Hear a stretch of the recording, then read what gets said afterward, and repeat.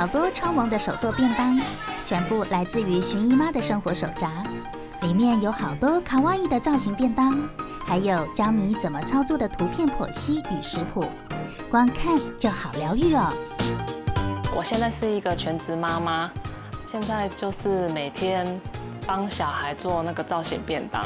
我对一些烘焙啊、料理都还蛮有兴趣的，所以都会去搜寻一些相关的东西来看。后来就有发现，那个日本妈妈都会做的便当很精致、很可爱，所以就希望说之后哪一天也可以做出像这样子这么美、这么可爱的便当给我的小孩。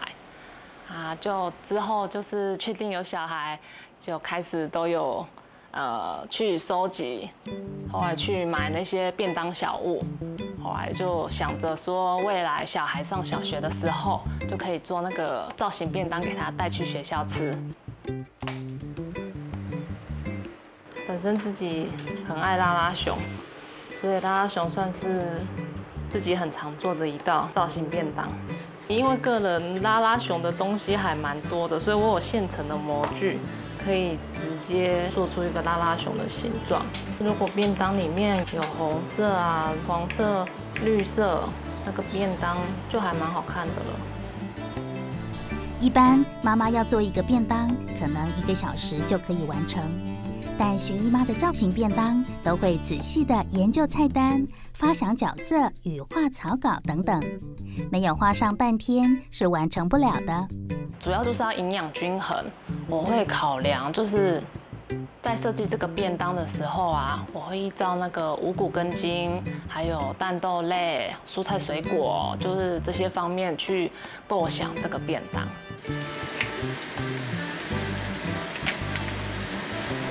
有仔细在关注寻姨妈脸书的，不难发现，她所做的都是没有肉的哦。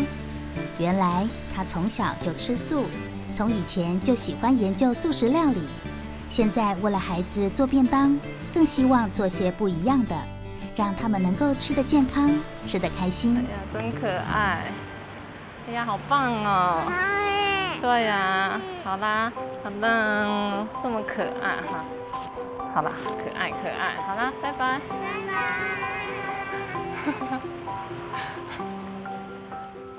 就是。我女儿的同学看到便当也是会觉得很惊奇、很开心啊，话也有备受期待的感觉吧，就是会想要不断精进努力啊，把这个便当做的更就是有不同的技巧，或者是可以怎么运用，变成呈现另外一个不一样的便当。就算是同一个角色，可是我只要换了一点装点，那这个便当又换就会变成另外一个。不同的样子出现在他们小朋友的面前。呃，全部，因为那个很好看，也很好吃啊。我知道了，两个小时。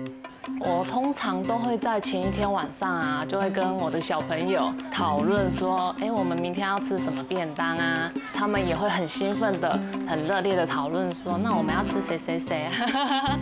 所以我觉得就是在这一段。就是讨论的时光，事实上是还蛮开心的。我们今天要来做那个万圣节的便当啊，所以可以做那个南瓜，南瓜，还有那个鬼鬼，鬼鬼在这里。幽灵，幽灵啊！哦，好幽灵，好幽灵。啊，也可以自己手捏啊，捏成无脸男的样子，就看你要选哪一个来做。原本薰姨妈只是单纯的家庭主妇，但是他为孩子亲手做便当的这份爱，以及乐于分享的心，已经让他变成了一位造型便当达人了。我觉得他应该是很喜欢做这个便当，因为他都会自己制作手做便当啊，然后很有耐心的去做那些造型。这个我们没有办法，而且看到那些器具那么多，也是蛮佩服的，可以一直添购啊，一直买的，然后也想要让小朋友可以吃到比较有营养、健康的东西，会觉得心里暖暖的吧。后来就会诶觉得哪里自己做便当不足啊，或是觉得哎最近菜又重复了，那我就会开始再继续研究，是不是要再变换一些新的菜啊？后来也会去上网搜寻看看啊，试做啊。做造型便当是一件还蛮快乐的事情，如果大家也可以一起做的话，那就是可以分享这份喜悦给大家。